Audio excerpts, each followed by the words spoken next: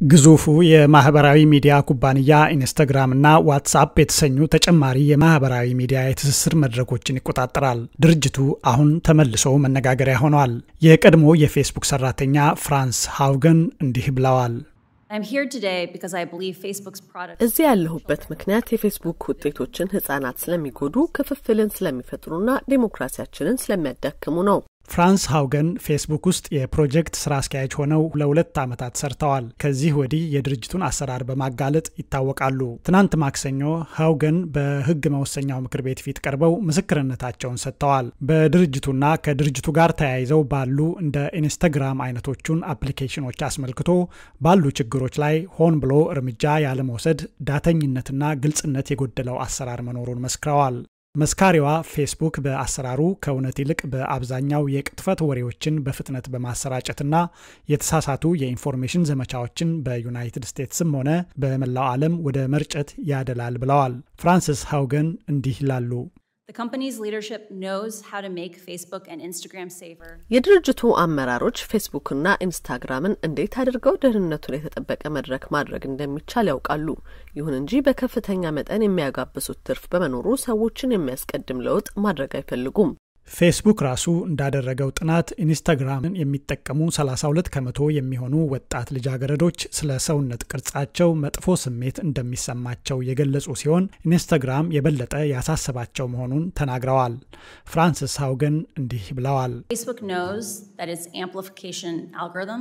ፌስቡክ በፈጠረው የማጉያ ቀመሮቹ ወይም amplification algorithms የተጠቃሚዎችን ደረጃ ለመልመድ አጉልቶ የሚያጋንኑ መስፈርቶችን ይጠቀማል።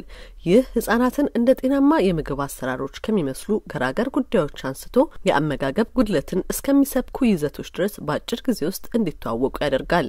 ፌስቡክ ግን ሃውገን በምስክርነታቸው ወቅት የተናገሩት በድርጅቱ ውስጥ መመልከት ከቻሉት ከተወሰኑት የጥናትና የፖሊሲ ውጤቶች ብቻ ተነስተው ነው ይላል። የኒው ሜክሲኮ ክፍለ ግዛት ዲሞክራቱ ሴኔተር ቤን ሬ ሉጃን የሚከተለውን ጥያቄ ለፌስቡክ የዓለም አቀፍ የደህንነት ኃላፊ አንቲገኒ ዴቪስ ሰንዝረዋል። ፌስቡክ በተጠቃሚዎቹ ላይ ጉዳት ሊያመጣ የሚችል ለውጥ በመድረኩ ተመልክቶ ያውቃል? በተጠቃሚዎች ቁጥርም ሆነ በገቢ ላይ ጭማሪ ስለሚያመጣስ ወደፊት ገፍቶበታል? የፌስቡክ ዓለም አቀፍ የደህንነት ኃላፊው አንትግን ዴቪስ እንዲህ በማለት መልሰዋል።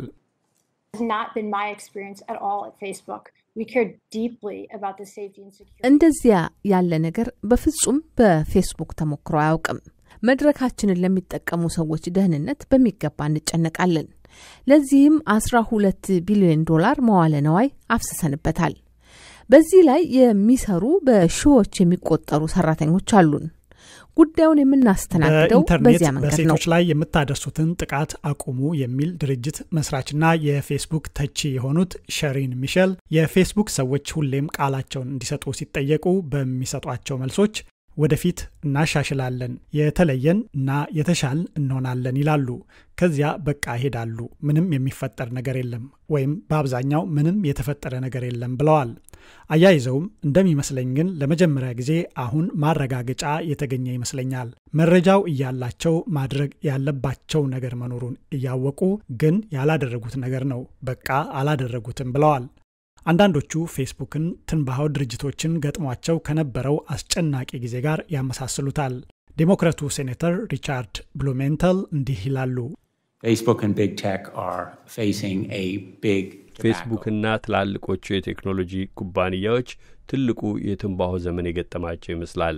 ሂሳብ የሚያወራረዱበት ጊዜ ትላልቆቹ የትንባሆ ድርጅቶችም ምርታቸው ካንሰር እንደሚያመጣ ማወቃቸው ብቻ አይደለም፣ ራሳቸው ሰርተው የደረሱባቸው ጥናቶች መኖሩን ስናውቅ ፋይሎቹን ሰውረዋቸዋል። ፌስቡክ ጉዳት ማምጣቱን አስመልክቶ በቀረበው ክስ ሕግ አውጪዎችና ተቆጣጣሪ ተቋማት ውሳኔዎችን መውሰድ አለመውሰዳቸው የሚታይ ይሆናል።